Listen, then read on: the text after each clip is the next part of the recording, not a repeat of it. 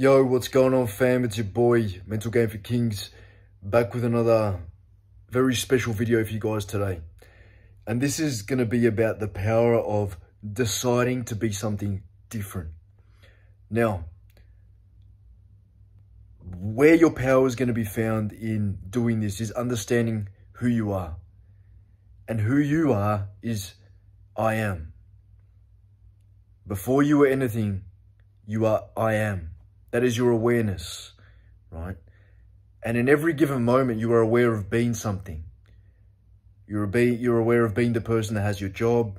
You're the person that, you know, has a relationship. You're aware of being the person that, you know, whatever is going on in your experience now, you're aware of being those things. You have identified yourself as the individual that has those things. Now, here's where the beauty lies in the power of deciding to be something new. Your I am can be conditioned in any single way that you decide it to be conditioned. You can condition yourself to be something new now. And when it comes to using the law of assumption, this is very powerful because we can essentially rewrite the narrative of our life and we can decide to be something new. We can write ourselves a new script. We can write ourselves a new story. But the first thing you need to understand is that is your power. Your power lies in the great I am right? So the perspective I got, I want you guys to adopt when it comes to using the law of assumption, when it comes to manifestation is that, is understand that everything comes from within your consciousness. Everything comes from what you have attached your I am to, right? Everything comes from the identity you have claimed yourself to be. And your life experience is a mirror of that inner world right? So if you want to experience something different, if you want to experience something new, you have to recondition that I am to be in alignment with what it is that you're after, um, what it is that you're wanting to experience, right? Because we don't necessarily manifest what we desire, but we manifest rather what we are, what we are in consciousness. That's what gets out pictured in this three-dimensional world, right? So now, here's here, in practical sense, this is what I want you guys to do.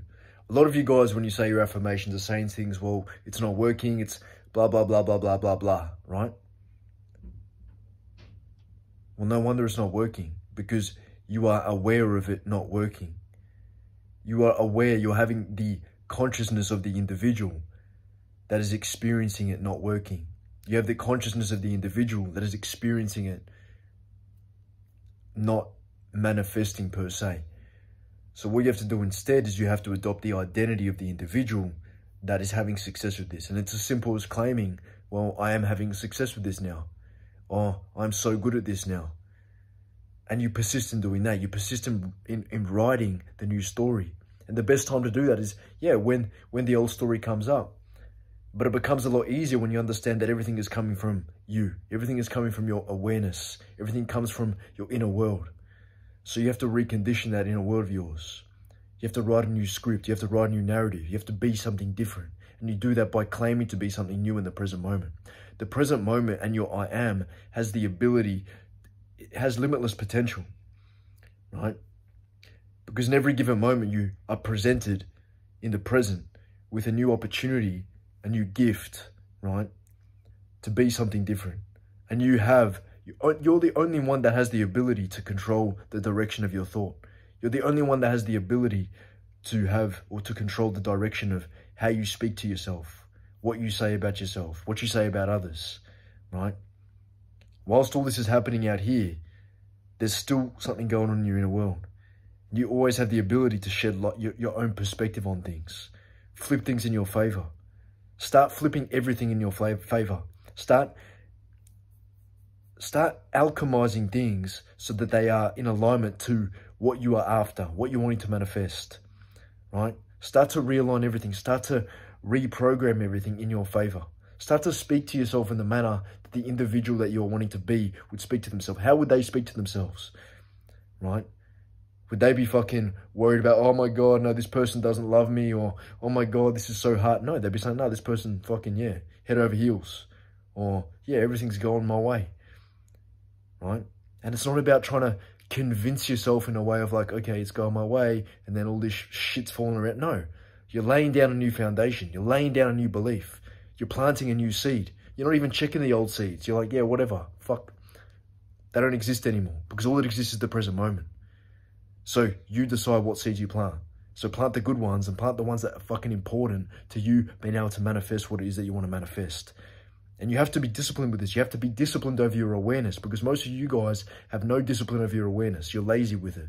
You say your affirmations for three minutes and then the rest of your day, you're talking against yourself. You're speaking poorly of yourself.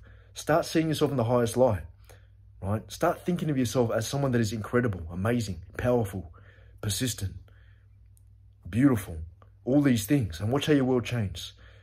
Start almost being you have to really understand that you have to you have to speak to yourself in the most perfect manner. As if you would talk to someone that you really love and you should be doing that right? Because you're meant to love yourself. So talk to yourself in a way that is loving to yourself right? Say the best things about yourself and then watch how your will start to shape itself with these new beliefs that you're planting right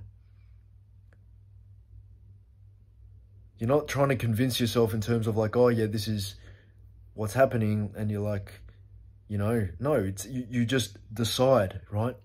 You make a decision that this is what's happening now. I am now this person. I'm now strong. I'm now powerful.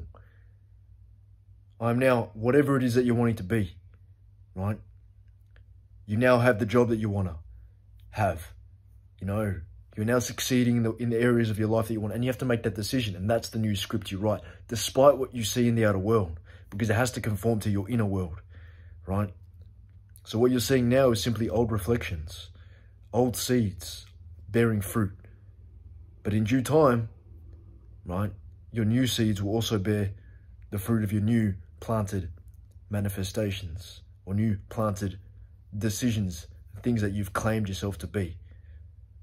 So I want you guys, after this video, I want you guys to just make a pact with yourself. Make a pact with yourself and say, you know what? Yeah, I'm the person now that speaks to myself in the most loving, wonderful, and caring way. Right? And you do that. You persist in doing that. You persist in doing that with whatever it is that you're wanting to manifest. You claim it now. You lay the foundation. You plant the seed now right? You don't worry about when the fruit is going to grow. You've planted the seed. You claiming it is planting the seed, right? That is your only that is your only job. Plant the new seeds and persist in watering them by continuing to feed, by continuing to decide that's who you are.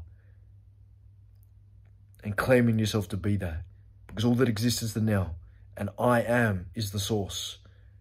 I am is the cause. This world is the effect of I am. The effect of your awareness. Yeah. I'm sure you found this video helpful. Now, if you want to work with me one-to-one, -one, I'll leave a link in the description there where I can help you, hold you accountable, and um, help you to reach what it is that you're wanting to reach. Yeah. You got this, guys, yeah? Peace, power, prosperity, and love always.